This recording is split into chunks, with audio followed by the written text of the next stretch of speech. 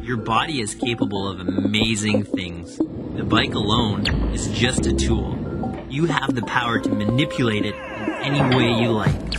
So be creative, be imaginative, ride for the enjoyment of it. Know that if you don't quite learn that certain skill, you've always got tomorrow.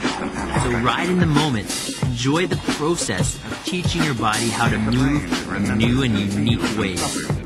Enjoy the sensation that your body gives you when you nail a line just right. If you do, you've mastered the art of trials.